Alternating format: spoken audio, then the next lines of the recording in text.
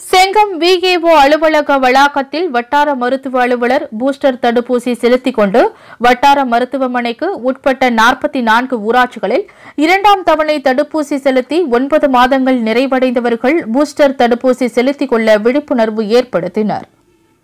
திருவண்ணாமலை மாவட்டம் செங்கமடது மேல்பள்ளிப்பட்டு வட்டார மருத்துவ அலுவலர் மரு சுரேஷ் முதல் மற்றும் இரண்டாம் தவணை கொரோனா தடுப்பூசி செலுத்தி ஒன்பது மாதங்கள் நிறைவடைந்த பின்னர் செங்கம் கிராம நிர்வாக அலுவலக வளாகத்தில் வட்டார மருத்துவமனை சார்பில் அமைக்கப்பட்ட கொரோனா தடுப்பூசி செலுத்தும் முகாமில் பங்கேற்று தனக்கு பூஸ்டர் தடுப்பூசியை செலுத்திக் கொண்டு முகாமை துவக்கி வைத்தார். இதனைத் தொடர்ந்து வட்டார மருத்துவமனையில் பணிபுரியும் மருத்துவர்கள் மருத்துவ ஆய்வாளர்கள் செவிலியர்கள் மருந்தாளுநர்கள் சுகாதார பணி பணியாளர்கள் அரசு ஆண்கள் மேல்நிலைப்பள்ளி தலைமை ஆசிரியர் வழக்கறிஞர் மற்றும் பொதுமக்கள் பங்கேற்று பூஸ்டர் தடுப்பூசியை செலுத்திக் கொண்டார்கள்.